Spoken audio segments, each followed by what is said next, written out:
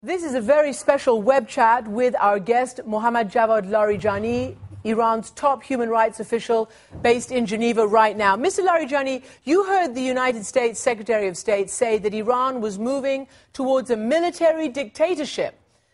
What do you think she meant by that? And is the Iranian Revolutionary Guard answerable to Ayatollah Khamenei?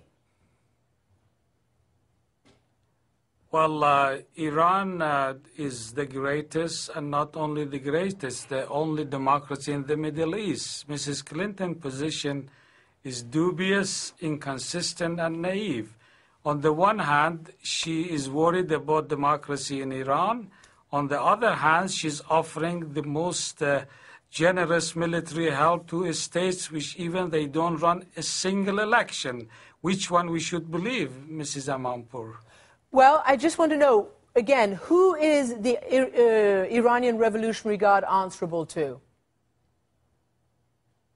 While they are legally answerable to all legal structures, which they should be, uh, the, uh, the Revolutionary Guard is part of our defense system. Okay. They have a legal status, they are legal command, and they are legally answerable to parliament, okay. to leadership, to government, depending, and also to the judiciary. Okay. There is no difference One... between a member of the guard and any other citizen. Okay, we've yeah. got only a limited time left. I want to ask you to sum up. If you are the most powerful, or you, as you say, the only democracy, the Islamic democracy in the Middle East, why do you need to crack down on your intelligentsia? What are you afraid of from journalists, from writers, from human rights activists?